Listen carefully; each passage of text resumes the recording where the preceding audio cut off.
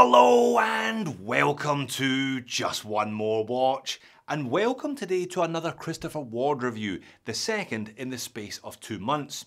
Now, the last Christopher Ward was the most expensive Christopher Ward I have ever reviewed. This Christopher Ward is the least expensive Christopher Ward I have ever reviewed. In fact, it's the least expensive watch in their current catalogue. Now, I talked in my review of the 12X how Christopher Ward had been slowly but surely moving up in price, but also correspondingly up in quality and innovation. It's great to see though that they haven't forgotten their base with the release of this Valour chronograph. Now, the two watches arrived in Sydney at the same time early last month, so I've been wearing this Valour quite a lot. Why? Because I like it. And because I think it makes a pretty strong case for itself if you're looking for a Swiss made chrono under 1000 US dollars well under a thousand US dollars. In fact, you have got options on this one starting from around 550 US dollars. Now, you saw the pop-up, I'm sure. This video is sponsored by Christopher Ward. I will therefore, of course, leave a link in the description of the video to the Valour on their website. Now, I have long maintained that Christopher Ward make the best watches you can buy for under 1,000 US dollars. Let's get into this one and see if that still holds true. And let's start by looking at the packaging. This is exactly the same packaging as featured on the 12X last month.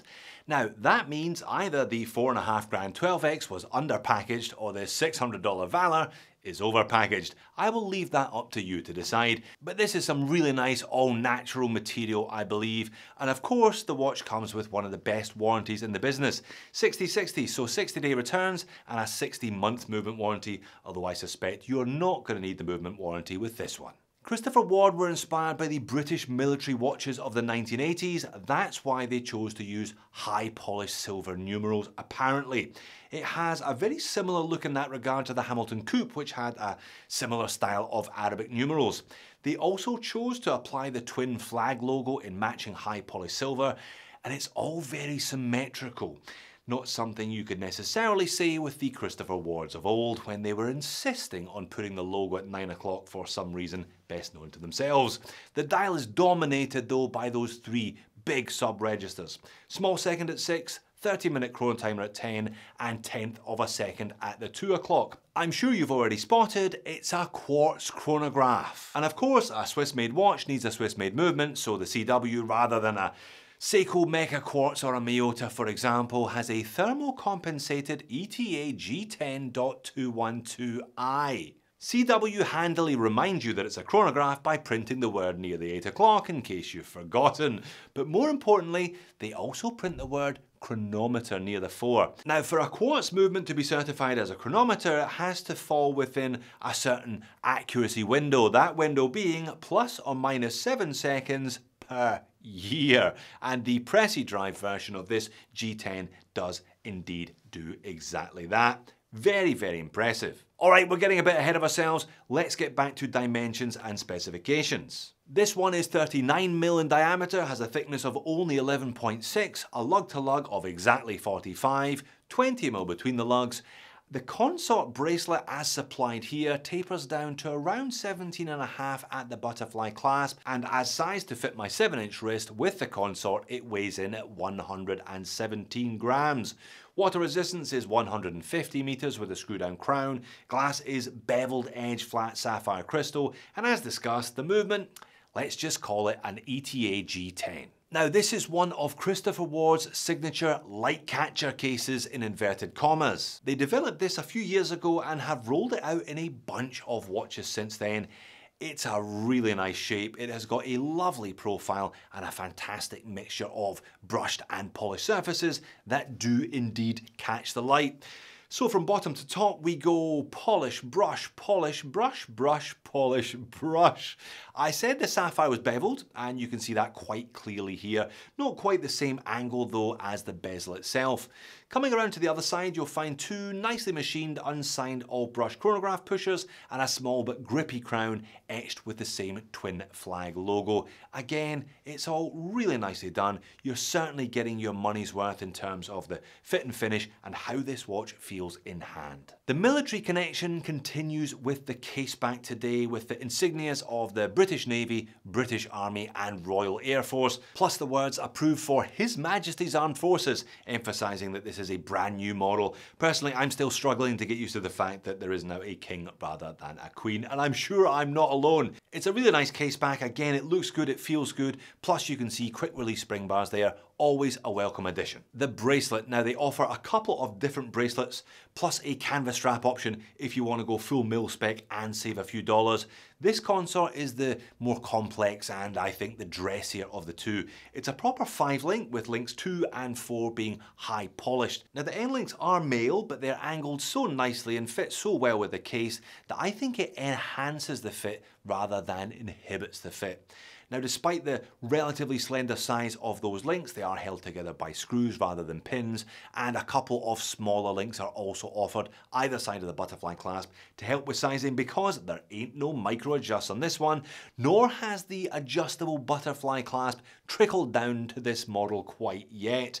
Christopher Ward brand name features for the second time because we saw it on the case back rather than the dial, Christopher on one side of the bracelet, Ward on the other side. Let's have another quick look at the dial and let's have a look at how the movement actually operates. No huge surprises, one push of the top pusher starts the central chronograph hand ticking once per second, but that sub-register at the 2, the red central hand also rotates once per second, meaning you can measure down to one tenth of a second as discussed.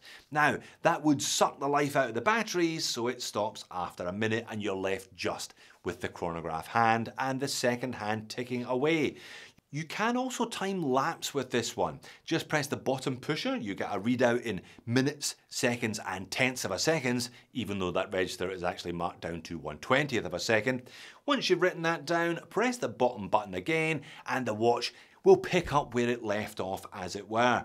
The pusher action is really crisp and snappy, very nice indeed. We've had a look at the applied Arabics and logo already. The only thing we haven't really discussed are the sub-registers and the hands. Now, those sub-registers are big and they do rather dominate the dial, do they not? I think a good choice by CW to add just a tiny little bit of colour Apparently those three colours are meant to represent the three branches of the British Armed Forces, by the way. Now there's nothing necessarily wrong with monochrome, but it can look a bit drab. Even the merest bit of colour always tends to give it a lift. Hands themselves are very Christopher Ward, high polished silver, beveled down the middle, and with a nice long minute hand and arrowhead hour hand. Chrono hand is also high polished, a super simple needle sitting exactly where it should be, right at the edge of the dial though, on that printed minute track. Having said that, those extra quarter second hash marks on that minute track aren't really necessary today, certainly not for the operation of the chronograph anyway. They might have been better in fact putting them on the second hand sub-register instead. Down there you have to make do with markers on every fifth second where they could have squeezed in a few more I'm sure. Alright, on wrist. As I said, I've been wearing this one a lot because I like it. It's a really nice size, it's a nice shape, it's a nice weight, and that case is gorgeous. Now, this particular bracelet does encourage you to wear the watch loose, and that's what I've been doing. It's very comfy below the knuckle, for example.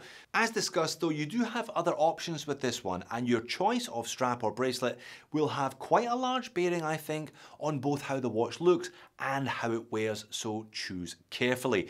This consort has the most polish and is therefore the dressiest and also encourages the loosest of fits because of the lack of micro adjustment. Now I'm sure you can see clearly from these shots those applied high polish Arabics do rather come and go depending on the angle and on the light conditions.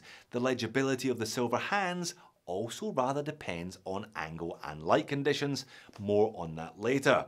But definitely no comfort complaints. I wear my watches 24 7 and this one has done several night shifts without difficulty. It's a lovely case design and one I think would suit people with considerably smaller wrists than I have. Alright, it's my favourite time other than dinner time. It's moans and niggles time. I have been enjoying the Valour a lot. It's a really easy watch to wear and my personal preference these days because of my circumstances is grab and go quartz. It's just so much easier when you have a vast and unruly collection like I do.